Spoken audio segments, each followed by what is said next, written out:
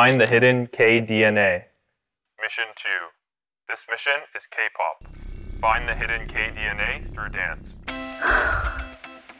Oh, this mission is not easy.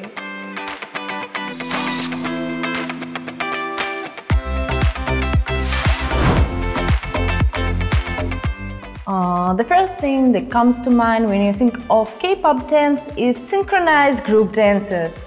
Uh, when I first fell in love with K-pop dance, I remember being surprised by the precision. When I first learned K-pop dance in person, I realized it wasn't all just out of the blue. The latest dancers have old moves in them. Uh, of course, they have been reinvented.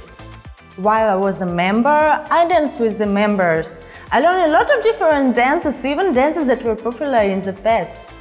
Jack Swing, Poppin' Dance, Psy's Horse Dance, which was popular in the past. Also, Walking Dance and Girls Hip Hop Dance that is popular these days. These dances are newly created to match the new songs. It's the same for Psy's Dance and BTS Dance. Adapting and creating new scenes from the past is something I see a lot in K-pop dance. There are so many basic dance moves that allows room for various new expressions. The hidden K-DNA that I realized while dancing, I think is the power to make new creations after learning old ones.